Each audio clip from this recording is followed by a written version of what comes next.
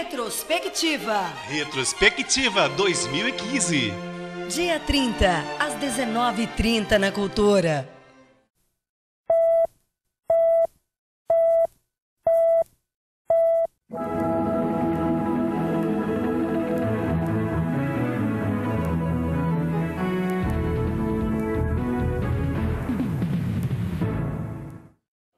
Olá, você está na TV Cultura de Itabira, entidade ligada à Fundação Cultural Carlos Drummond de Andrade. Terça-feira movimentada na cidade. Ação conjunta da Polícia Militar e Civil deixa toda Itabira alerta. Oportunidade tem processo seletivo simplificado para a área da educação municipal. Presépio, uma forma devota de trabalhar o amor ao divino Equipe de governo se reúne, faz balanço e planeja 2016. Fazenda da Esperança, uma obra que veio para ficar. O Jornal da Cultura começa agora no Dia Internacional da Biodiversidade. Bio significa vida e diversidade, variedade. Então, biodiversidade ou diversidade biológica compreende a totalidade de variedade de formas de vida que podemos encontrar na Terra. Plantas, aves, mamíferos, insetos, microorganismos. A camada de ozônio, os gases lançados na atmosfera, o desmatamento, a depredação do que é vivo, a degradação do meio ambiente, a dengue, zika vírus, chikungunya, a gripe, o resfriado. A hepatite e todas as manifestações contagiosas estão se fortalecendo devido ao mau cuidado da natureza. Repensemos nossas responsabilidades no meio em que vivemos. Somos parte dele.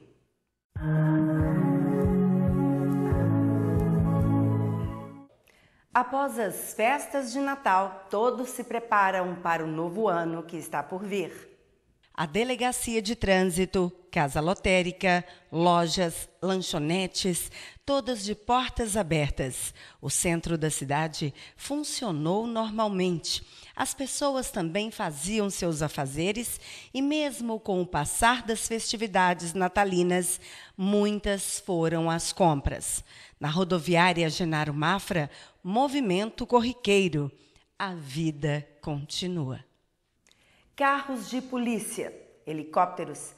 Em muitos bairros da cidade podia-se ouvir e ver que a Polícia Militar e Civil, em conjunto, entraram em ação para o bem da população. Acompanhe as informações com Denise Maia, imagens de Silvio Andrade. A Polícia Civil realizou na manhã desta terça-feira uma coletiva para falar sobre as operações de apreensão realizadas em Itabira, com as parcerias da Polícia Militar e Civil. Acompanhe as informações dadas pelo delegado regional Paulo Tavares e o delegado de Itabira, Paulo Henrique. Essa entrevista coletiva para dar uma dinâmica maior, uma visibilidade melhor ao trabalho das duas corporações pelo trabalho realizado pela Polícia Civil, pela Polícia Militar.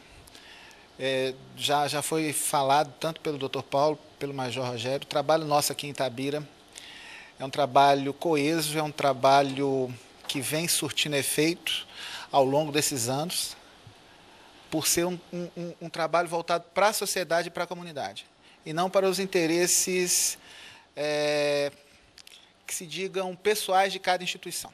Então, é um trabalho voltado ao cidadão, à comunidade, e é um trabalho que vem, vem surtindo frutos muito bons.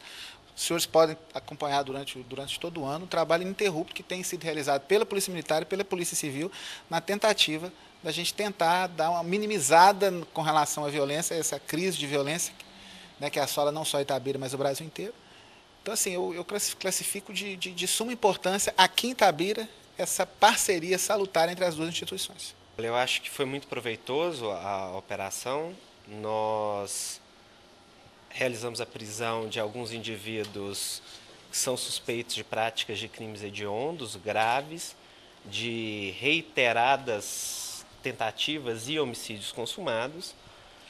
E muito importante também, é, esses fatos foram apurados. Algumas dessas armas podem estar associadas a outras práticas de homicídio, tudo será investigado, diligências serão realizadas para verificar se eventualmente uma dessas armas, por exemplo, propeliu os disparos que acabaram por vitimar alguém. Tenho certeza que o trabalho tanto da Polícia Militar quanto da Polícia Civil em Tabira é um esforço conjunto e de grande valia para tentar diminuir esses números tanto da criminalidade violenta quanto da criminalidade comum na cidade de Tabira. Então, o acesso que o major tem ao meu gabinete, do Dr. Paulo, tanto quanto o acesso que eu tenho à Polícia Militar, ele é amplo, a gente troca informações cotidianamente em relação a qualquer evento de maior relevância. E é extremamente proveitoso para as duas corporações. Algum detalhe de informação que nós temos, uma parte de informação que às vezes a Polícia Militar tem e nós não temos, trocar essas informações para formar um conjunto, tudo sendo coletado para ao final da persecução criminal, se eventualmente apurado que aquela pessoa é de fato autor de um fato delituoso, ela ser eventualmente condenada e pagar por aquilo que ela fez. Major Rogério falou como foi a atuação da Polícia Militar junto à Polícia Civil nesta operação de longas datas. A parceria da, com a Polícia Civil em Itabira, ela tem sido muito salutar e tem sido bastante beneficente para que possamos aprimorar o serviço, a, a boa prestação de serviço em Itabira. E esse objetivo dessa troca de informações é exatamente nós enfrentarmos a, criminalidade e melhorarmos a qualidade de vida da comunidade no que diz respeito à segurança pública. Essa operação vem de longas datas, de troca de informações, troca de documentos, boletins de ocorrência, informações, de forma que culminou nessa data com essa grande operação. Realmente há um certo desgaste, mas que vale a pena ao final. Nós tivemos policiais militares das, da, dos 11 municípios que compõem o 26º Batalhão, da mesma forma que nós tivemos policiais civis de várias cidades de Minas Gerais. E a, a soma desse efetivo todo foi condizente, foi propício, os resultados foram bons, os resultados foram plausíveis e, e, e, e vai propiciar a Polícia Civil adiantar os inquéritos, da mesma forma que vai no futuro propiciar a Justiça levar esse pessoal a julgamento. As apreensões foram realizadas em diversos bairros de nossa cidade. Mesmo com o sucesso desta, as operações continuarão. A curto prazo é aquela questão psicológica, né, do efeito psicológico de você ter de, da sociedade, da, da, do cidadão perceber que a polícia está presente. Com relação ao marginal, com relação à né, criminalidade, é, é, aquela situação. Nós sabemos né, que isso não vai inibir que eles continuem. Mas do mesmo modo que eles continuam, nós também continuaremos diuturnamente na, na tentativa de, de coibir o máximo possível da, da, dessa, dessa crescente criminal. Esta operação também contou com os apoios da Defensoria Pública e Ministério Público. O município de Itabira, por meio da Secretaria de Educação, torna pública a realização do processo seletivo simplificado para contratação de pessoal para os cargos de merendeiro escolar, servente escolar inspetor e artífice de obras e serviços. O processo seletivo simplificado será coordenado e executado por uma comissão nomeada por meio de portaria assinada pelo prefeito municipal de Itabira. As inscrições serão realizadas na Secretaria Municipal de Educação, situada à Rua Jacutinga, número 15, bairro Campestre. O período é de 5 de janeiro a 8 do mesmo mês, de 8 da manhã às 17 horas. Mais informações através do site www.itabira.mg.gov.br. Musgos, minérios, plantas, madeiras e tantos outros objetos e artifícios são utilizados para construir o presépio, símbolo de amor e reverência no Natal. O presépio é uma referência cristã que remete para o nascimento de Jesus numa gruta de Belém, na companhia de São José e da Virgem Maria. Geralmente, ele é montado a partir do dia 17 de dezembro, pois é o momento em que as leituras bíblicas começam a falar do nascimento do menino Jesus. No dia 6 de janeiro é o dia da desmontagem, tanto dos presépios quanto as árvores de Natal. De acordo com a tradição, é o dia da festa Epifania, dia da manifestação de Jesus aos três reis magos e toda a humanidade. Por isso, ainda dá tempo de visitar vários presépios como este, montado na igreja de São José do Macuco, por Carlos Roberto Betinho. Ele gastou cerca de seis dias para fazer esta obra, usando papel, papelão, pó de minério, pó de carvão, musgos, plantas, além dos personagens de gesso. Um trabalho grandioso.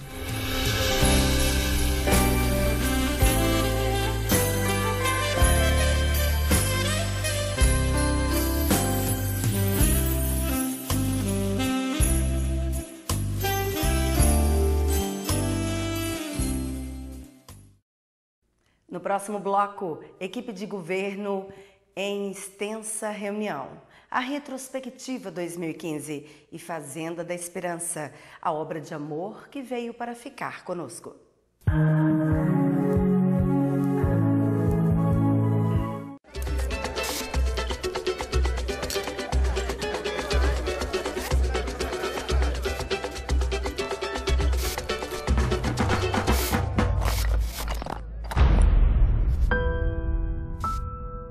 José tem nove anos e tem sua infância destruída trabalhando em uma carvoaria.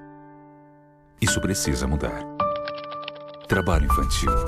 Você não vê, mas existe.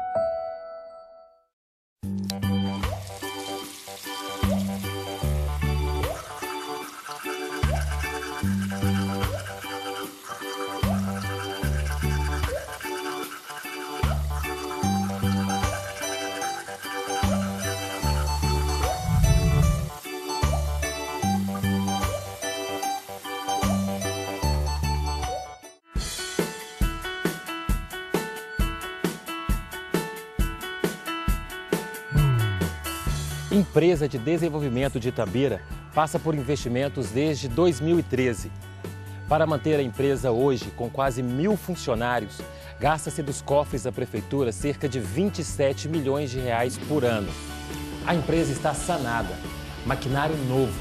Em dois anos e meio, os funcionários tiveram 27% de aumento salarial, sendo 10% em 2013, 10,67% em 2014 e 7% de aumento salarial em 2015. A cesta básica de antes foi transformada em cartão alimentação, hoje no valor de 192 reais. E também foi ampliado o acesso ao cartão aos funcionários que recebem até dois salários mínimos e meio. Prefeitura de Itabira, fazendo mais por você.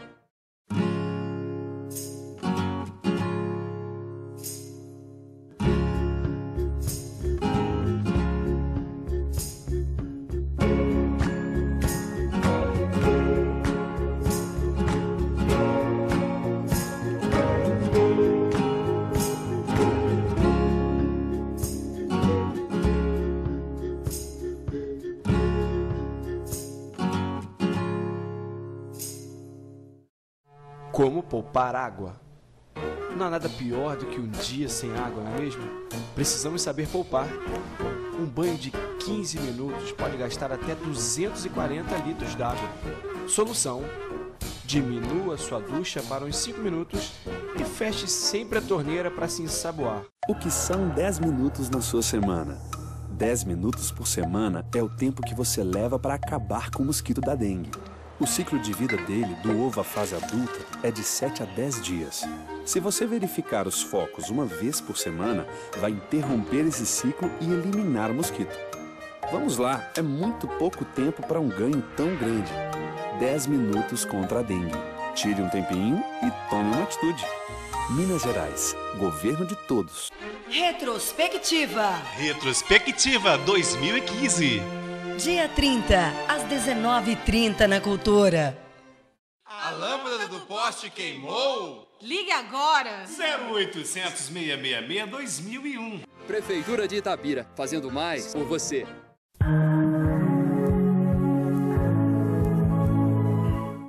Mesmo tendo declarado por portaria ponto facultativo nos setores da administração pública municipal, entre os dias 24 e 31 de dezembro, o prefeito Damon tem se reunido com a equipe de governo. O encontro foi realizado na Secretaria Municipal de Meio Ambiente e buscou discutir, entre outras questões administrativas, a redução de gastos. Pela manhã, todos os secretários municipais participaram da reunião. Eles fizeram um balanço das atividades de cada secretaria e propuseram novas ações. À tarde, os responsáveis pelas pastas da Fazenda, Planejamento e Gestão, Administração, Governo, Gabinete e Procuradoria-Geral, além do diretor-presidente da Empresa de Desenvolvimento de Itabira, Itaúrbe, discutiram assuntos relacionados a gastos como contratações de pessoal, serviço ou obras, novos investimentos e outros. O objetivo é buscar novas formas de redução de custos para o ano de 2016, sem, no entanto, deixar de investir no município. Segundo informações da assessoria, a equipe manterá os encontros de trabalho esta semana para que decisões sejam tomadas para melhor administração municipal no ano que está por vir. Segundo informações da assessoria de comunicação, a equipe manterá os encontros de trabalho esta semana para que decisões sejam tomadas para melhor administração municipal no ano que está por vir. Amanhã, às 19h30, você acompanha conosco os fatos ocorridos este ano em Itabira. A retrospectiva 2015 das melhores notícias. Um trabalho voltado para o próximo. A Fazenda da Esperança veio para Itabira e, junto a pessoas que oferecem amor, trabalho e compreensão, é hoje um local querido por todos que residem e que trabalham. Dizem que tudo na vida é passageiro. O que não é são os feitos nela deixados. Assim podemos definir a passagem de André como coordenador da Fazenda da Esperança.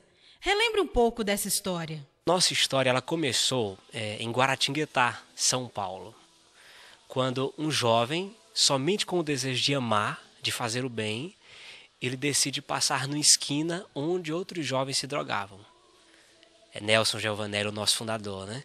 Ele passava nessa esquina com o desejo de amar aqueles jovens que eram conhecidos como os drogados, os bandidos, os malfeitores da cidade de Guaratinguetá. Então ele decidiu passar nessa esquina, conviver com esses jovens, dedicar atenção a eles, preparou o bolo de aniversário, emprestou a bicicleta pessoal, se interessou pela história daqueles jovens, até que depois de dois meses frequentando aquela esquina, o primeiro jovem pediu ajuda para o Nelson. E a expressão que aquele jovem usou é a mesma que muitos jovens, quando nos procuram, usam até hoje. Eu não aguento mais sofrer, não aguento ver minha família sofrer, não aguento mais chorar, não aguento mais ver minha mãe chorar. Por favor, me tira dessa vida. Me leva para onde você quiser, eu preciso de alguém que cuide de mim 24 horas. Nossa história começou assim. Então, o Nelson é, amou assim, de forma muito especial aqueles jovens. O primeiro ele pediu ajuda, começaram a frequentar a paróquia, a igreja, e depois tomaram a decisão de alugar uma casa e morarem juntos. Então aquele grupo que estava na esquina se drogando passou a frequentar a paróquia e ali começou a fazer esperança, porque eles tomaram a decisão de alugar uma casinha na rua ainda, na cidade, e morarem juntos. E aí decidiram viver do próprio trabalho, da espiritualidade e da convivência entre si, entre, entre eles, para que um pudesse ajudar o outro. Na próxima semana, veja a reportagem sobre a despedida de André, que deixará a fazenda de Itabira e seguirá para outra unidade em mais uma missão na cidade de Garanhuns, Pernambuco. Precisamos ter um coração missionário, né? Há quatro anos atrás eu estava sendo encaminhado para Itabira sem saber onde viria parar, sem saber o que iria encontrar, o que iria encontrar, mas vim com o coração aberto, é, com medo, ansioso, mas cheguei. E foi uma experiência belíssima. Né? Eu, eu, eu estou falando assim que eu vou, mas levo Itabira junto comigo, levo o povo, levo os voluntários. Né? Vai ficar um espaço no meu coração.